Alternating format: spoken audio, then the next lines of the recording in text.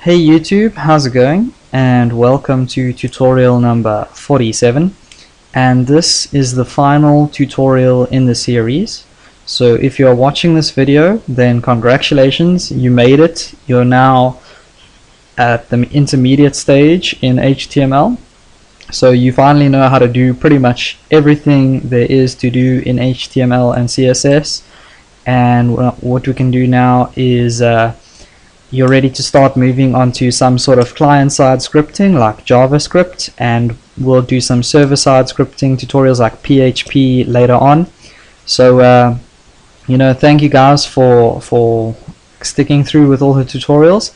And now in this tutorial we can finally put our website live on the internet. And the first thing you obviously want to do to get started with that is you're gonna have to purchase some purchase some shared hosting. So you just need to go ahead and Google um, a shared hosting company in your area. So uh, for me I already actually have my um, shared hosting company. And the company that I use is called AfriHost. But go ahead and just Google web hosting in and wherever you guys are. If you're in America go ahead and you know look for someone there. I think uh, if you're in the States you can use someone like HostGator or GoDaddy or something like that. Those are all pretty good webs web hosts. Uh, but for me, I want to pay. Uh, I want to work with guys here in South Africa, you know, so that at least I can talk to them on the phone one on one without paying lots of charges and that kind of thing. So the company that I work with is AfriHost and just because they're actually like one of the best in SA so that's why I work with them.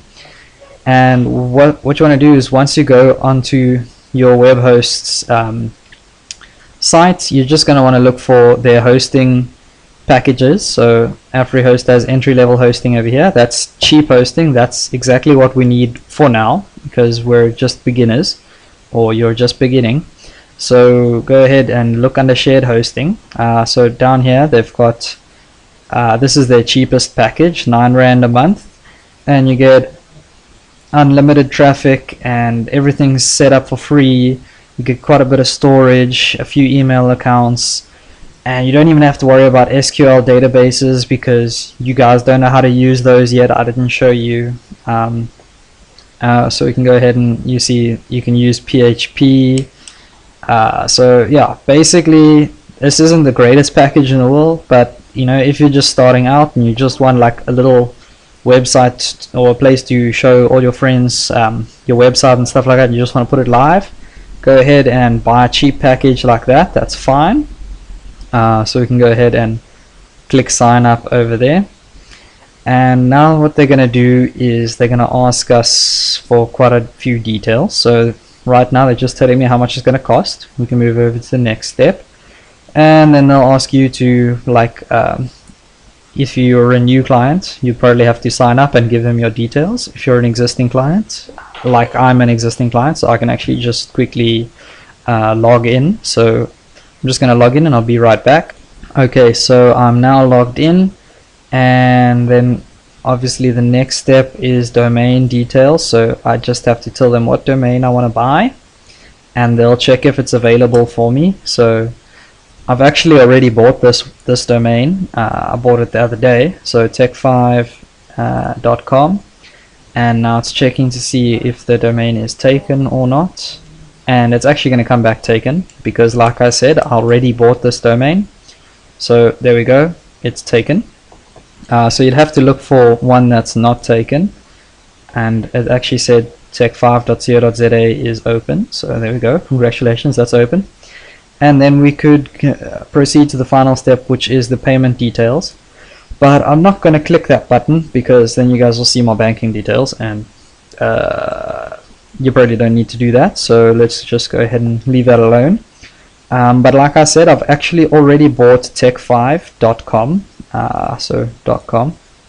Uh, so if you go over to www.tech5, oh wait, I think I bought .org, not .com. Cool.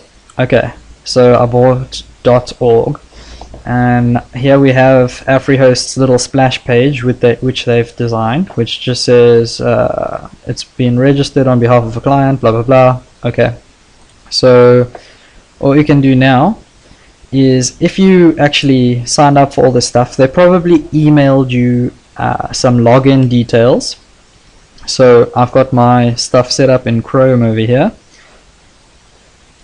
Okay, so I took a look at my details and I logged into my client zone, which is something you guys would obviously have to do. And just uh, so you know, your client zone would obviously look different. This is just the one that AfriHost made, so that's why it looks like this, um, just because they made it. So yours might look different.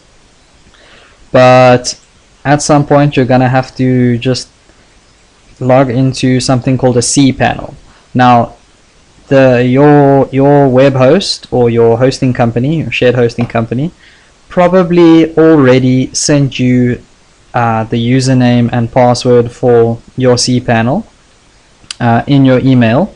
So you might not have even had access to a fancy um, what do you call this client zone that AfriHost offers. Uh, you might not have access to that. You might just get a username and password that logs you straight into something called a cPanel and this cPanel is going to be the same uh, pretty much whatever web host you're using. If they use cPanel it's going to look like this. So you'll be able to follow along quite well.